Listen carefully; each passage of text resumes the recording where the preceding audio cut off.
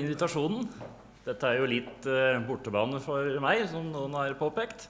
Men uh, jeg skal få lov å komme med en del kritikk av mitt eget parti og høyresiden, så da blir dere kanskje fornøyd likevel. Jeg tror at Høyres strategi i denne valgkampen ikke dreide seg så mye om at Høyre skulle vinne, men at Arbeiderpartiet skulle tape. Høyre satset på at det var et ønske om skifte i folket, at velgerne ville strømme til det største opposisjonspartiet, som var Høyre. Og for å vinne måtte opposisjonen sitte stille i båtene. Tenåringen og småbarna måtte holde seg i ro, og ingen velgere måtte bli redde for Høyre. Dette ønsket om skifte Vi skifter vanligvis hvert fjerde år i Norge. Det er mye skifter i Europa også, som Torvald Jensen var inne på. Dette ble forsterket av at denne regjeringen har sittet i åtte år, ikke bare fire. Og det er veldig lenge i Norge. Vi må tilbake til Gerhardsen for at det har skjedd. Og det ble forsterket av at Arbeiderpartiet som regel har tjent på sitt image som et solid styringsparti. Men den forestillingen, den oppfatningen, ble kraftig utfordret i fjor både gjennom et knippe personskandaler og etterlønningene etter 22.07. Så denne store fordelen som Arbeiderpartiet vanligvis har, den var ikke så stor, i hvert fall. Kanskje borte. Så folket ville ha nye fjes, men ville de ha ny politikk? Eh, Norsk Monitor viser at velgerne i Norge er ganske fornøyd og de har blitt mer og mer fornøyd under den rød-grønne regjeringen. Um, Høyre konkluderte med at det var lite, liten etterspørsel etter en vesentlig annerledes politikk. Så stikkordet ble da, som Marie Simonsen sier, litt. Litt skattelettelse, litt liberalisering, litt privatisering. Og Høyre valgte det ganske innholdstomme slagordet for å betegne sitt regjeringsalternativ som følger nye ideer og bedre løsninger. Noe som det er veldig vanskelig å være imot. Det er veldig trygt. Uh, og Høyre har nå presentert seg som et parti som er ute etter en politikk som virker, noe som er smart, men som ikke utfordrer noen tunge interesser. Nå er det sånn at i Norge så er pengerikeligheten i statskassen så stor at det ikke er nødvendig å utfordre særlig mange. Alle kan få uten å øke skattene. Så å prioritere i Norge det består i å velge mellom de som skal få litt mer, de som skal få mye mer, og de som skal få veldig mye mer. Og denne manglende viljen til å utfordre interesser, det har dere også i fagbevegelsen merket. Eh, noen eh, trodde kanskje ikke helt på det. Tror kanskje ikke helt på det enda. Men vi har sett de siste årene fagforeningsfradraget, sykelønna i avtalen fredet, med mindre liberalisering i arbeidsmiljøloven enn under Bondevik II. Og eh, når John Tore Sanner var her i går, så skremte han dere vel ikke veldig, tror jeg. Ehm, det er andre interesser også. De som måtte ønske å utfordre landbruks- og distriktsinteressene. Jeg er en av dem. Vi må smøre oss med tålmodighet fordi Erna vil ha med Kristelig Folkeparti på laget.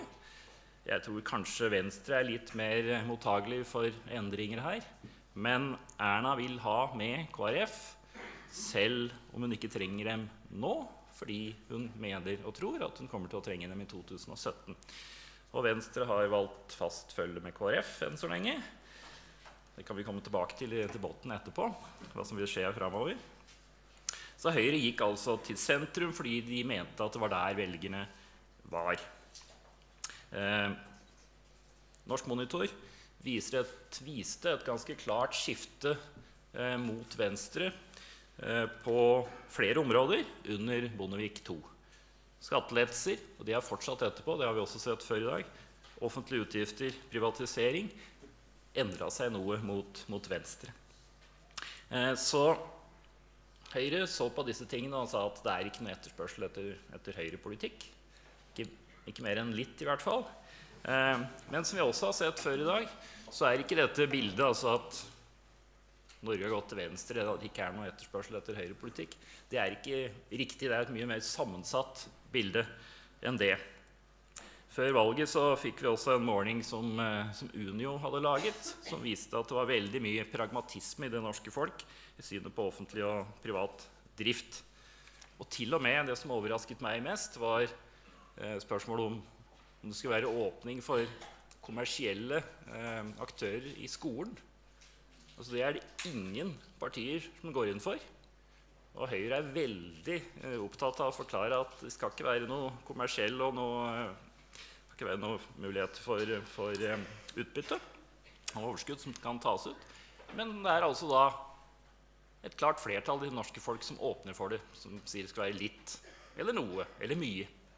Selv blant Arbeiderpartiets velgere er det et flertall som har en liten åpning for kommersielle skoler. Så det er altså litt større marked, tror jeg, for noe mer dristig høyrepolitikk eh, enn det som Høyre har lagt opp til. Men det hjelper ikke så mye at jeg tror det. Altså, Høyre tror ikke det. Eh, de tror at det er et veldig beskjedent marked. Og Høyre lyktes ganske godt med å gjøre seg selv ufarlige i valgkampen. Som eh, Lysbakken kalte det. De mumle seg til valgseier. Det var litt slemt. Eh, men det var i hvert fall ikke noe ønske om å provosere noen og utfordre noen, men at de skulle vinne på en slags walkover fordi folk var lei de rød-grønne og Arbeiderpartiet nå. Og selv om venstresiden og deler av fagbevegelsen skremte, særlig med Frp, men også generelt, var det få som trodde på de skremslene. Bortsett fra noen som uansett stemmer eh, til venstre. Det var veldig få som trodde at de skulle miste en subsidie, en beskyttelse, en overføring dersom det ble regjeringsskifte. Eh, Minerva, som er der jeg jobber, tidsskriftet Minerva, vi utga et nummer på våren. Og forsiden sto det 'Tenk om vi får historiens blåeste regjering, og ingen merker forskjell'. Det er jo selvsagt en overdrivelse, en spissformulering. For eh, litt vil bli endret, bli endret. Men hvis vi ser på det første dokumentet nå, statsbudsjettet, tilleggsproposisjonen, så ser vi at det er nesten ingen kutt der. Det er nesten ingen som behøver å bli nedprioritert. Eh, og det ble enda færre kutt etter at forhandlingene var ferdig med Kristelig Venstreparti. Men det er uansett noen som bråker. I går var det en kunstneraksjon i eh, Oslo. Jeg oppfordret også alle til å dekke til bokhyllene sine hjemme. Eh, det sto også i pressemeldingen at du må huske å ta bort plasten etter, eh, etter aksjonen. Jeg var ikke helt med på den, men altså, noen bråker uansett. Kultursektoren har fått veldig mye penger eh, de siste årene.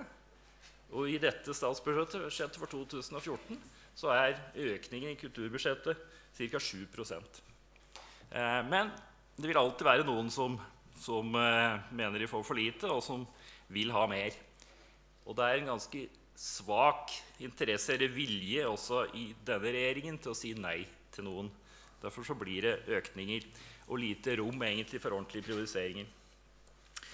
Nå er det sikkert eh, delte meninger om hva litt betyr. Både regjeringen og sikkert noen av dere vil mene at det som kommer av endringer, er mer enn litt. Jeg mener det er bare litt.